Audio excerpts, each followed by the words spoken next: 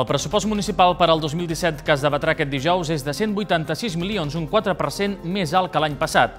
El text que portarà a ple l'equip de govern inclou a última hora algunes propostes de Terrassa en Comú i Esquerra Republicana. El Partit Popular ja ha anunciat que hi votarà en contra.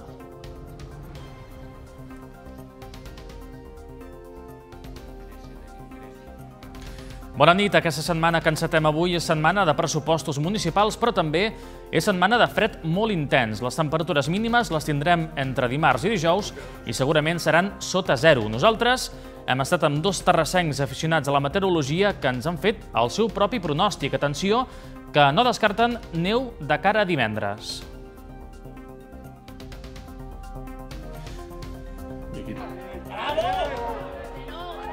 I en els esports reveurem la victòria a domicili del Terrassa d'aquest diumenge, més d'un any després. El 0-1 al camp del Castelldefels, més enllà de l'estadística, serveix a l'equip d'Agustín Baques per presentar la seva candidatura al Playoff Descens.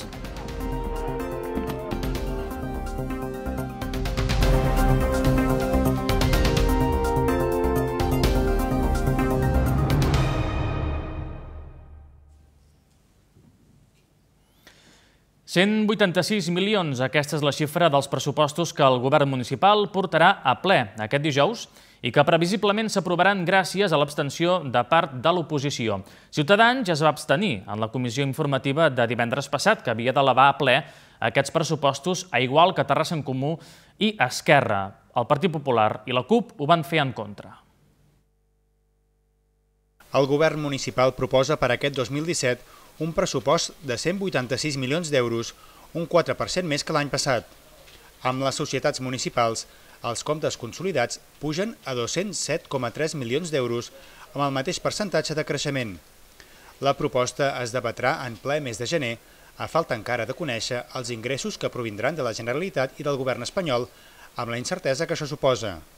El suport de Ciutadans ha permès que els comptes es puguin debatre dijous i gràcies també a les abstencions de Terrassa en Comú i d'Esquerra Més. El PP i la CUP suposen a que es debatin aquests comptes. El projecte inclou a última hora algunes propostes dels comuns i dels republicans, com destinar 150.000 euros més a la comunicació institucional sobre el nou model de gestió de l'aigua, la creació de l'Oficina d'Igualtat de Tracte i No Discriminació o l'augment dels recursos a les beques menjador o al servei d'ajut a domicili. El president de la Comissió Informativa de Serveis Generals i Govern Obert, Alfredo Vega, agraeix el diàleg fluid amb tots els grups, tot i que amb intensitats diferents.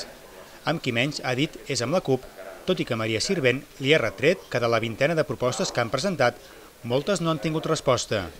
Del pressupost es destinaran a inversions 12 milions d'euros, una quarta part dels quals seran per expropiacions. L'esponjament de Can Anglada i el Pla de Barris de la Maurina s'enduen un milió i mig d'euros cadascun. Altres partides menors s'invertiran en el projecte de Torre Bonica, la reparació dels talussos de la Riera del Palau, la millora de l'espai públic i la neteja. El govern preveu aquest 2017 editar una nova revista municipal després que l'oposició forcés fa tot just un any la supressió del Visquem Terrassa que es distribuïa periòdicament a totes les llars de la ciutat. El responsable de l'àrea econòmica de l'Ajuntament, Alfredo Vega, ha dit a Canal Terrassa que els comptes del 2017 són solvents i que segueixen tenint un marcat component social i apostant per la promoció econòmica. També ha explicat l'acostament amb altres partits, com Ciutadans, Terrassa en Comú i Esquerra, en diverses qüestions de ciutat. El procés de municipalització del servei de l'aigua i la reorganització de l'administració local són les principals particularitats del projecte de pressupost per al 2017 a Terrassa.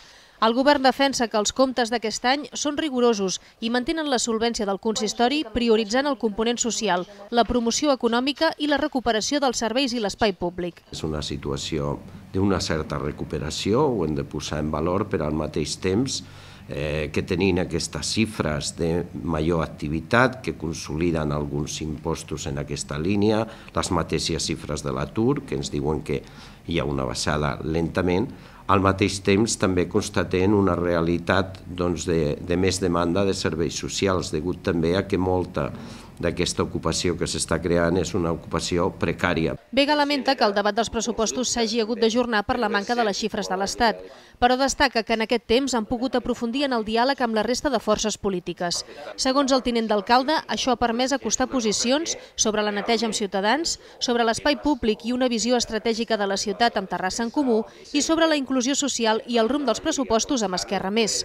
És una situació que hem dialogat molt amb tots els partits, que hem explicat a tots i que finalment esperem doncs, que aquests pressupostos són fruit en gran manera del diàleg en, aquest, en els grups polítics, eh, parlat amb tots, amb tot, el responsable econòmic alerta de les incerteses de no disposar encara dels pressupostos del govern espanyol. Això pot condicionar determinades quantitats. Els dubtes sobre l'aplicació de la regla de la despesa podrien retenir d'una banda 3 milions d'euros ja contemplats en el projecte i de l'altra 5 milions resultants de la liquidació de 2016. Qui ja ha anunciat que no donarà suport a aquests pressupostos és el Partit Popular. Ho ha dit el seu portaveu Àlex Rodríguez aquest matí en una roda de premsa en la que també ha parlat de Ciutadans. Diu sentir-se sorprès per la presumible abstenció del Partit Taronja al ple d'aquest dijous i que facilitaria l'aprovació dels comptes. El PP votarà en contra dels pressupostos municipals del 2017 per entendre que fan un gir cap a l'esquerra, que tenen un punt d'independentista i que no posen l'accent en el que, segons el seu portaveu, Àlex Rodríguez, és prioritari per la ciutat. La neteja, la seguretat, la lluita contra l'incivisme i la mobilitat. El representant popular al consistori considera que es destinen massa diners en unes partides que aquest any han pujat. Ha citat com a exemple el gabinet d'alcaldia, la recuperació del Visquem, la sindicatura de greuges, que pel PP no s'hauria de professionalitzar, i el Consorci per la normalització lingüística. Per contra, Rodríguez creu que hi ha partides que han baixat i que s'haurien d'haver incrementat. Policia, promoció industrial, biblioteques i promoció econòmica. Per tant, amb aquests quatre punts eh, numèrics ja podem dir que el Partit Popular no pot donar suport a aquests pressupostos. Entenem que no destina els calés a les prioritats que necessita la nostra ciutat, per sobre de tot la reactivació econòmica, la creació de llocs de treball, l'augment de la neteja de la nostra ciutat, que sí que es fa un increment d'aquesta partida, però que es necessita molt més. Tenim una ciutat que a nivell de mobilitat no funciona. Fa una setmana i escaig va tornar a cremar-se un altre autobús de públic de la nostra ciutat. Això no està a l'alçada ni al nivell que es mereix Terrassa. D'altra banda, el PP no entén la postura de Ciutadans en la votació dels pressupostos, en la que presumiblement facilitarà la seva aprovació abstenint-se creu que és incoherent amb els seus plantejaments polítics. No entenem com Ciutadans ha pogut eh, posar-se al costat de l'equip de govern del PSC i Convergència quan són uns pressupostos, repetim, que no atenen les prioritats de Terrassa i que a més a més mantenen aquest deute en torn al 70% que té el nostre Ajuntament i que Ciutadans tantes vegades havia criticat. Uns pressupostos que destinen més calés com he dit abans, a l'Oficina de Normalització Lingüística, una aportació clarament de Convergència en la seva línia independentista i que Ciutadans li donarà suport. Rodríguez ha dit que el suport de Ciutadans als pressupostos seria la constatació d'un nou tripartit al govern. Deixem els pressupostos, demà en seguirem parlant, però no deixem del tot la política, perquè Ana Maria Martínez, l'alcaldessa de Rubí, serà la primera dona en dirigir la Federació Vallès Oest del PSC. En les primàries ha estat l'única candidata que s'ha presentat, amb 240 avals. El proper 28 de gener substituirà l'actual primer secretari al Terrassenc, Amadeu Aguado. L'actual alcaldessa de Rubí, Anna Maria Martínez, serà la nova primera secretària de la Federació Socialista del Vallès Oest. Aquesta és l'única candidatura que es presenta a les primàries dels socialistes per renovar la direcció comarcal fins ara ocupada pel terrassenc Amadeu Aguado. La també primera secretària de Rubí ha presentat aquest divendres més de 240 avals, per damunt dels 174 necessaris o el 20% de la militància, per convertir-se en la primera dona al capdavant de la Federació Comarcal continuista perquè han estat quatre anys, els anteriors difícils. Eh, el, el treball que s'ha fet des d'aquesta federació ha estat, jo he aprofitat l'acte per felicitar al primer secretari i a la resta de la comissió executiva perquè ha estat, ha estat un treball en el moment segurament més difícil del nostre partit. Ara, ara el que cal és un cop fet aquest treball que, que ens ha permès eh, d'alguna manera cohesionar les agrupacions, aquesta federació eh, ha d'ocupar eh, o ha de millorar el seu rol en relació a la resta del partit, a la resta de l'organització, perquè té el pes que té i en consonància amb aquest pes el que volem és sumar i, i construir al voltant del nostre projecte socialista. És un partit obert, no? Eh, nosaltres pensem que la figura d'una alcaldia és molt potent en aquests moments. La foto de que una alcaldia de la nostra comarca eh, sigui la, la primera secretaria, la força política representada en el, en el nostre partit, es, es veu que és una foto diguem-ne compartida també per la majoria de la, de la militància que creu partint que en aquest moment toca doncs, que, que sigui així. No? Aquest divendres es complia el termini per presentar candidatures. El pròxim 28 de gener en el Congrés de la Federació s'haurà de ratificar el projecte de Martínez. Aquesta és la primera vegada que les primàries socialistes arriben a una agrupació comarcal per renovar els càrrecs, després de fer-ho a nivell local i nacional. La Masia Freixa ha acollit aquest dissabte una jornada sobre polítiques d'inclusió social. Amb el títol Els plans d'inclusió social una dècada després, la jornada ha estat organitzada pel grup municipal d'Esquerra Republicana Aquesta... més i ha recordat el Pla Local d'Inclusió Social aprovat per unanimitat l'any 2009. Aquest document es va fer, va acabar, va ser... Ell té una àmplia... Bàsicament per un tema competencial ha sigut estem a les portes d'una entrada de fred siberià que fa caure les temperatures pel que fa a les mínimes a valors negatius. És en aquests dies que estem més pendents que mai del que diuen els homes i dones del temps. Nosaltres, però, hem volgut fer un homenatge a aquells aficionats a la meteorologia, que n'hi ha uns quants, i que recullen dades estadístiques molt valuoses. En l'època, doncs, bueno, vam anar aquest cap de setmana encara no s'ha fet notar del tot el fred polar i les temperatures siberianes anunciades per aquests dies. En donen fe dos observadors meteorològics incansables de Terrassa que des de fa més de 40 anys anoten cada dia les dades de temperatures, pluges o vent. I aquí tinc, mira, des del 88 fins ara. En Josep Maria Givert acumula dades des del 1964. Va recuperar indicadors de fa 121 anys i col·labora des de fa molt temps amb l'Agència Espacial de Meteorologia i amb la xarxa d'observadors meteorològics de Catalunya. Jo crec que ens va influir una mica en la nostra generació l'haver viscut a l'aiguat del 62. Això ens va impactar molt a tots els nois joves de, de Terrassa, no? perquè era un tema que es parlava molt a les cases. I em sembla que això va crear bastanta afició meteorològica en aquella època. En Ramon Navarro també pren nota cada dia de totes les dades climàtiques. Col·labora amb molts mitjans, als que envia els valors anotats, i és un infatigable tuitaire de la meteorologia. Pensa que et lleves ja amb, amb les ganes aquelles de aviam, aviam avui, i et lleves i ja te'n vas i mires la mínima i mires aviam si està serè o si està núvol i és allò, allò, allò que ho portes a dintre. I si no és el Twitter, el que treu fum és el WhatsApp. S'ha creat un grup de WhatsApp es diu Observadors Meteorològics, que em sembla que som quasi 100 a tot Catalunya, i no parem, no parem, no parem. Xavier Soler, neva amb ganes a Tabascan. A Sant Quintí, la mínima ha estat de menys 0,6, a la 1,45. Potser t'arriben al dia 100 missatges continus. O sigui que és una afició brutal. El fred, però, acabarà arribant realment a Terrassa? Tenim un microclima i vull dir, tampoc hi ha temperatures tan baixes, a més portem ja uns quants hiverns que no fa fred. Jo crec que sí, que, sí. que baixarem de zero un dia o altre, sí, però, però vaja, tampoc serà uh, un fred anormal ni molt menys. Segons les seves previsions, sembla que de cara al pròxim dijous o divendres podria haver-hi alguna sorpresa en forma de neu. Corredor que ens ve des de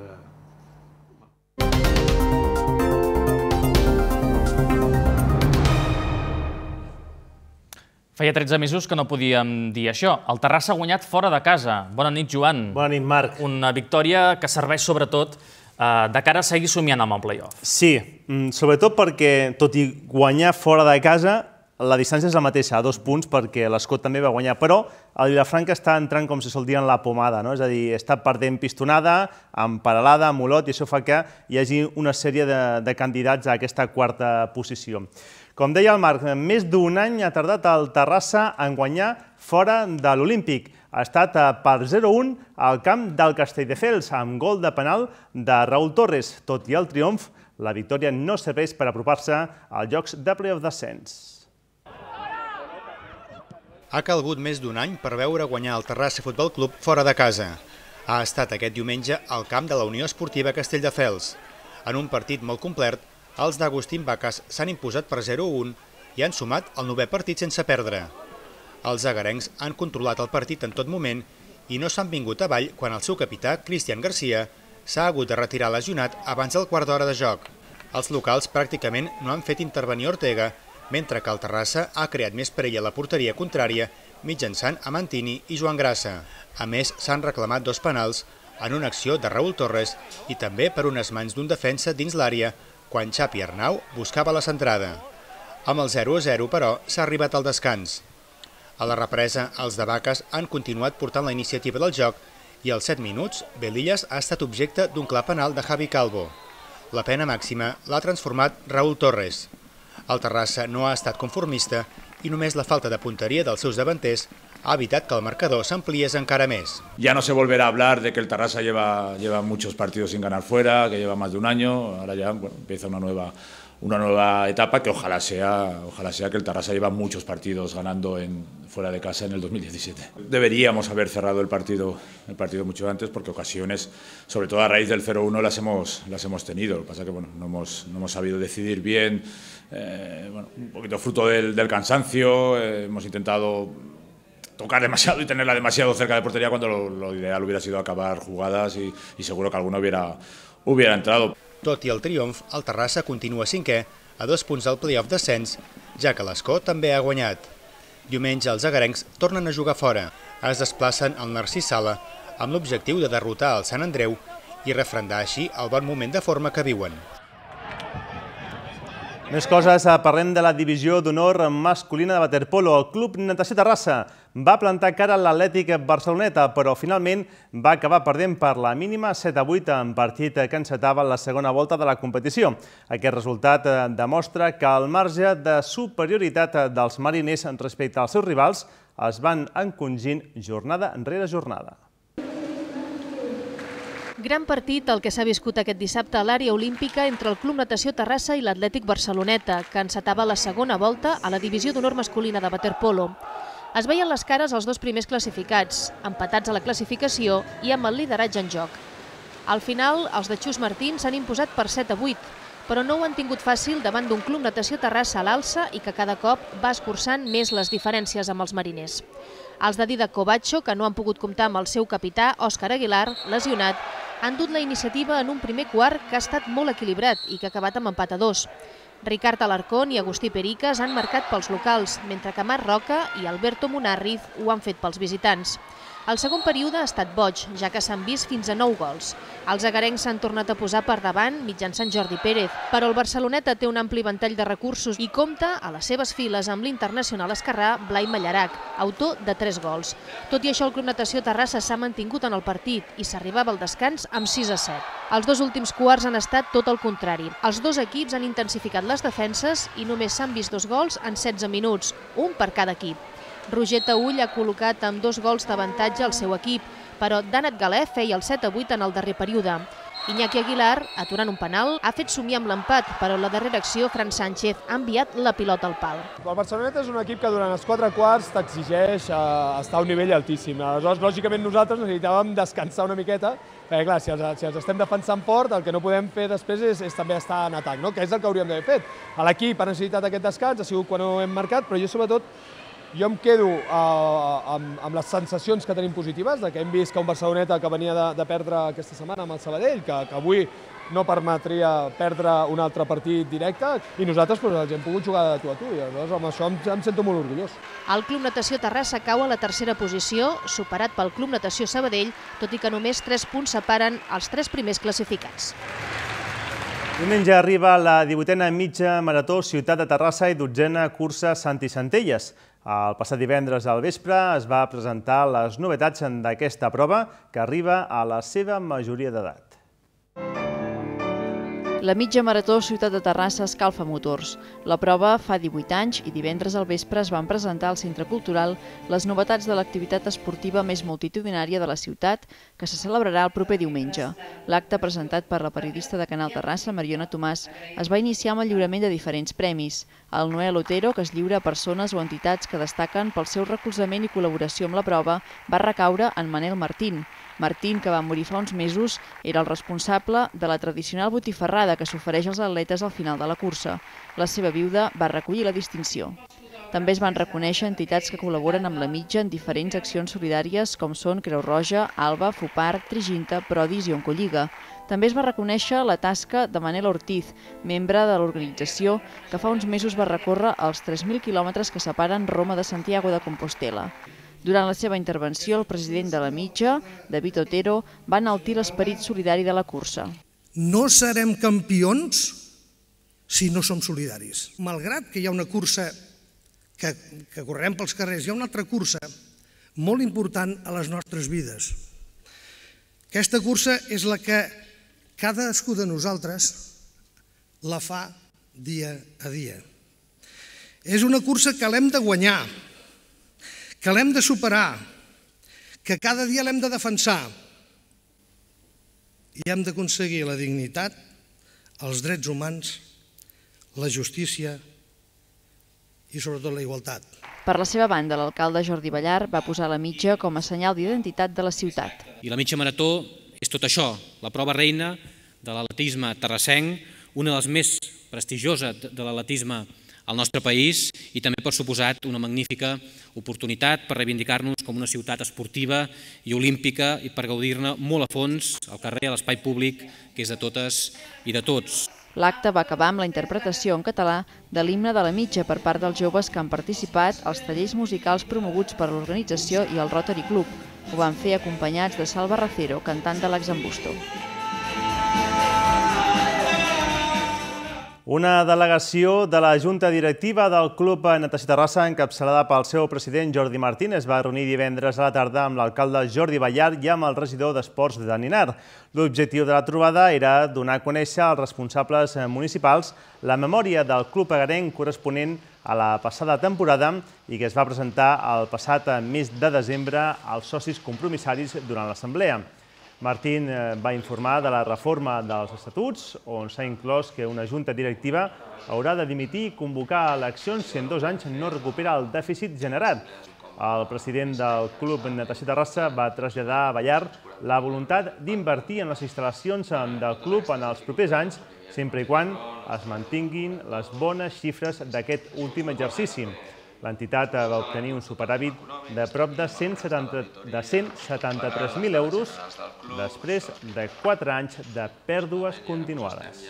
El coixí que teníem doncs, el futur econòmicament en primera línia, tant l'equip de natació masculí femení com el i haurem de veure al llarg d'aquests anys quines són les inversions que presenta la que és Marc la principal entitat esportiva en quant a nombre de socis, com és el Club Natació Terrassa. Demà eh, continuem amb el cap de setmana. Hem de parlar d'hoquei sala, del Campionat de Catalunya, anem a veure com han anat aquests primers partits i haurem de parlar també de la jornada de bàsquet i amb l'empat del Sant Cristóbal a casa contra el Lleida B. Molt bé, gràcies Joan. Demà repassem Demà totes repassem aquestes això. disciplines esportives. Gràcies. Vinga, adéu.